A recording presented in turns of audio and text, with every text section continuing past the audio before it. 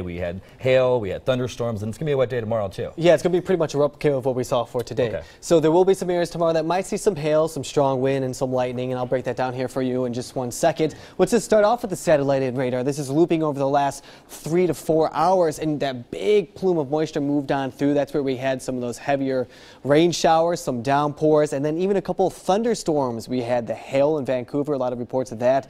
Thunder, which I haven't heard in quite some time, and this is all now pressing off to the northeast. Not going to rule out a stray thunderstorm along the coast as we go through the next couple of hours, but I think most of us through the valley should stay away from the thunderstorms, but still uh, some passing showers. So here's what we have going on now. We have up towards Vancouver down to Portland, staying mostly dry, still some showers coming along the coast range, and those are pushing to the east, so still going to leave a little bit of rain in the forecast as we go into the overnight. Here's a pretty decent thunderstorm. There was some lightning that was popping up about five minutes ago. This is pushing to the northeast, Rockaway Beach. Areas of Cannon Beach might be seeing this here in the next uh, five minutes or so.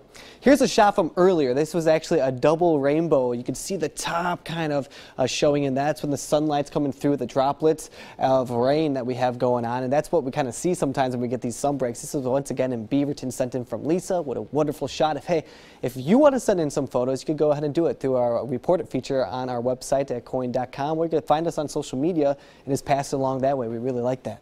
Uh, overnight tonight, temperatures falling down to about the mid 40s to the upper 40s. A forecast low of right around 47 degrees.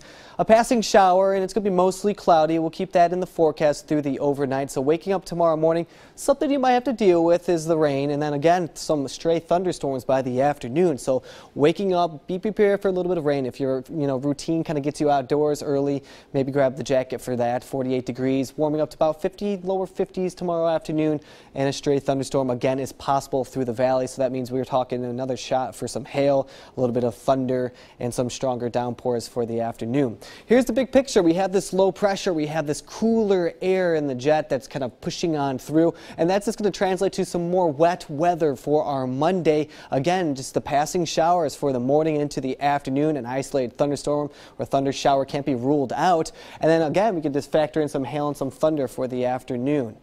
So I'm going to show you that as our futurecast kind of goes through the area. This is our rain, snow, and ice forecast. You can notice this at 11:30. We'll keep the rain in here. It's going to be very scattered into tomorrow morning. So grab all the rain gear when you're heading out the door tomorrow. If you have a, a bike ride to work, be prepared for that. Uh, snow is possible for the afternoon, evening, about two to six inches up there on Mount Hood. Some more snow for the ski resorts. That's going to be nice. It's going to be pretty scattered in nature with rain all the way into Tuesday morning through Tuesday afternoon before things finally start to dry on out as we get into Wednesday morning and maybe another shot for some rain late Wednesday night, but looks like that's going to be our best time for some dry time.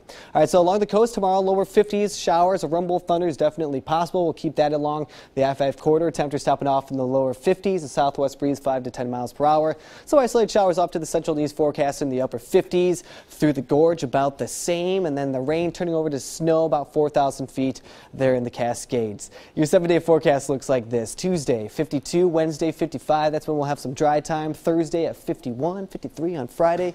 And Chris, right now, our weekend, if our models, our weather models, the guidance kind of sticks where it's at, it looks like we have a nice spring weekend ahead of us uh, a week from now. But yeah, sunny then, and dry, dry time. Yeah, that's going to be nice. I like what I see. Yeah, not bad. Cool. All right. Thanks, Joseph. Well, Stan Brock is